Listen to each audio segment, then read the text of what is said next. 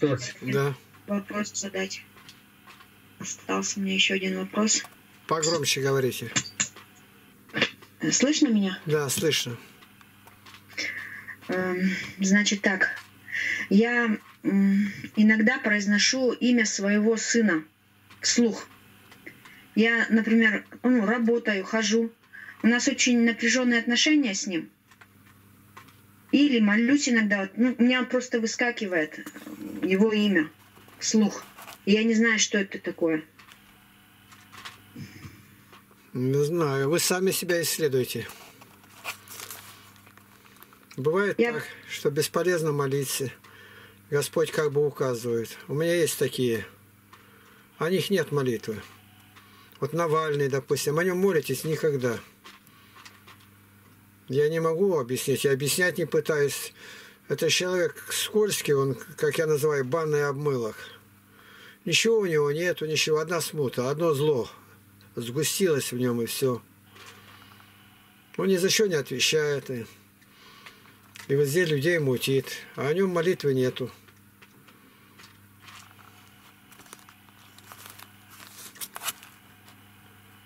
Так. Еще кто? Игнатий Тихонович, еще вот по молитве такой вопрос. Иногда в конце молитв мы заканчиваем и во веки веков, а иногда просто во веки. Ну, Вот как есть, так и считать надо.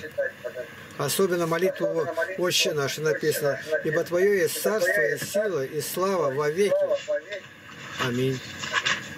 А веков нету. А вот молитва Ефрема Сирина нужно заканчивать во веки веков. Да, как написано, так и надо. Ничего не мудрить. Ну, в чем-то тут э, какая-то разница же есть. Да зачем мне искать разницу? Искать ее не надо. Как написано, считай и все. Во веки так понятно, что бесконечно.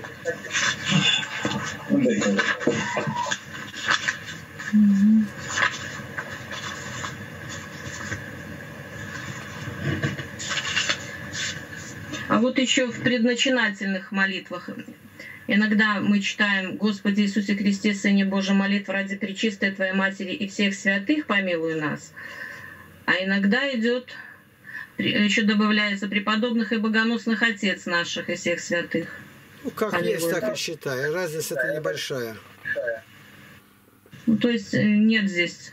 Нет, это ничего. Я, Это, это не я слово. обратила внимание, что в утренних так, а в вечерних по-другому. Не слово Божие это, а молитва. А молитву составляли человеки. И поэтому у нее несколько вариаций может быть. Хорошо, спаси Христос. Слава Христу. Так, все. Отхожу.